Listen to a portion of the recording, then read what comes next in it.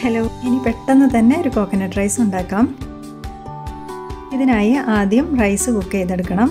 ഇനി ഇതിലേക്ക് അല്പം സോൾട്ടും ഒരു ടേബിൾ സ്പൂൺ ഗീയും കൂടിയും ചേർത്ത് കൊടുത്ത് മൂടി വെച്ച് കുക്ക് ചെയ്തെടുക്കാം. ഇനി വേറൊരു പാനിൽ കോക്കനട്ട് ഓയിൽ ഒഴിച്ചതിന് ശേഷം അതിലേക്ക് ഒരു ടീസ്പൂൺ കടുക് ഒരു ടീസ്പൂൺ ചെറിയ ജീരകം ഒന്നര ടേബിൾ സ്പൂൺ ഉഴുന്നുപരിപ്പ് പിന്നെ ഒന്നര ടേബിൾ സ്പൂൺ കടലപ്പരിപ്പും ചേർത്ത് കൊടുത്ത് ഒന്ന് സോട്ട് ചെയ്തതിന് ശേഷം ഒരു ഫോർ ടു ഫൈവ് ഉണക്കമുളകും കുറച്ച് കാഷ്യൂ നട്ട്സും പിന്നെ എരിവിനനുസരിച്ച് പച്ചമുളകും ഒരു ടീസ്പൂൺ കായവും കറിവേപ്പിലയും ചേർത്ത് ഒരു രണ്ട് മിനിറ്റ് ബ്രൗൺ കളർ ആവുന്നവരെ സോട്ട് ചെയ്തെടുക്കാം. ഇതിലേക്ക് ഒരു ഒന്നര തേങ്ങ ചേർത്ത് കൊടുത്ത് രണ്ട് മിനിറ്റ് ഡ്രൈ ആക്കി എടുക്കണം.